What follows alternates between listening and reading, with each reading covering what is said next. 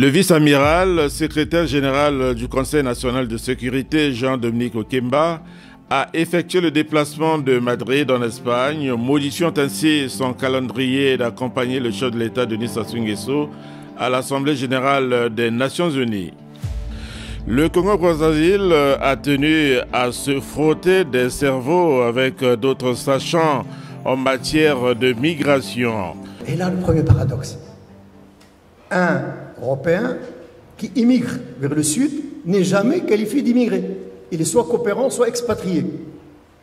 Bizarre.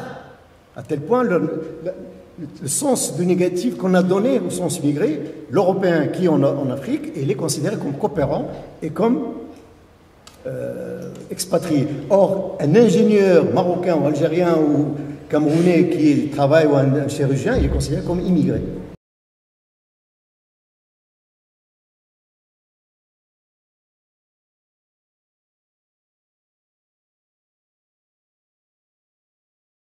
De silence.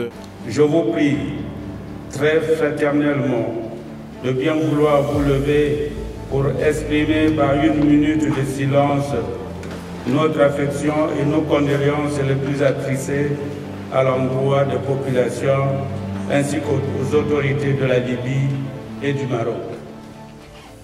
Le ministre Jean-Dominique Okemba a revisité avec l'assistance le parcours élogieux fait par Denis Sassou Nguesso en faveur de la paix en Afrique et dans le monde.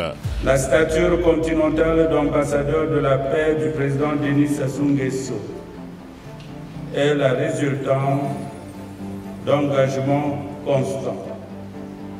Pour rappel, son implication déterminante dans le succès du protocole de Brazzaville, paraffé le 22 décembre 1988 à Brazzaville, prélude au retour de la paix en Afrique australe avec la fin de l'apartheid que la libération de Nelson Mandela viendra parachever. Denis Sassou demeure sur cette trajectoire, a notifié le ministre Okemba. La tenue prochaine à Brazzaville du sommet des trois bassins en est une illustration. Les déplacés massifs en mer ont réveillé les spécificités du Congo, a notifié Jean-Dominique Okemba celle-ci étant la paix, la sécurité, le dialogue permanent, la médiation sous l'impulsion du chef de l'État Denis Sassou Nguesso. Aujourd'hui, il est primordial de faire triompher les forces de la vie.